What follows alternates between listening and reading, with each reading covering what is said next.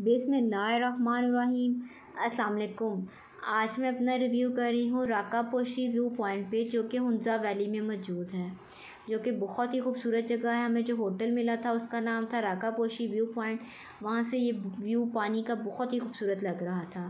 Hotel से थोड़ा सा डिस्टेंस पे चढ़ाई चढ़ के हम ऊपर गए थे ज़िप लाइन के लिए। हमने ज़िप लाइन की थी जो कि एक नेक्स्ट लेवल का एक्सपीरियंस है। आप अगर जाएँ तो आप भी लाजमी कीजिएगा। यहाँ पे रात के टाइम का व्यू बहुत ही खूबसूरत था। रात के खाने में हमें मखमली हांडी और साथ हमें माश की दाल मिली थी। पास एक छोटा सा बाज़ार था, हमने उसको भी विज़िट किया था, जो कि बहुत ही खूबसूरत था। यहाँ पे लेडीज़ एसेसरीज़ की आपको तमाम चीज़ें मिलेंगी। आप अगर आएँ तो लाजमी इधर विज़िट कीजिएगा। सुबह के टाइम नागा पर्वत के बर्फ़ से ढके हुए पहाड़ बहुत ही खूबसूरत लग रहे थे। हम यहाँ पे ब्रेकफास्ट के लिए रुके थे, हमने ब्रेकफास्ट किया था और फिर हम आगे चल पड़े थे। आपको मेरी वीडियो पसंद हुई हो तो लाइक और सब्सक्राइब ज़रूर कीजिएगा। जजाकर